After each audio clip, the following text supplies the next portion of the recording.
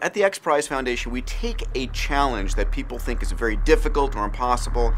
We put a large amount of money, $10 million or more, as the carrot, with a very clear rule and says the first person to pull this off wins the money. The Ansari X Prize was 10 million for the first team that could build a three-person spaceship, fly up to 100 kilometers, land, and do it again within two weeks. So we're now doing that in prizes in energy, life sciences, exploration, education, and areas that really trying to drive breakthroughs for the benefit of humanity. One of the prizes in the area of the environment is called the Wendy Schmidt Oil Cleanup Challenge. We've asked teams around the world to reinvent how you clean up an oil spill. We have 10 finalist teams who came in and said, I think we can reinvent this.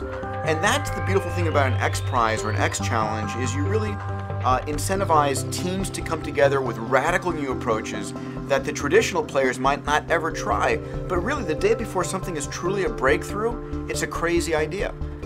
I have a belief that at this time, more than ever before, individuals and small groups have the ability to tackle any problem they want. So I'm thrilled by the amount of exponential technologies coming online. And uh, my partner, Ray Kurzweil, who's known for his book, The Singularity is Near, and I co-founded a brand new university called Singularity University. And we're looking at teaching graduate students and also executives about how exponential technologies are going to transform the world. We're asking them to build a product or a company that can affect a billion people's lives positively within a decade. We're going to accomplish more in the next 10 years than we did the entire 100 years before.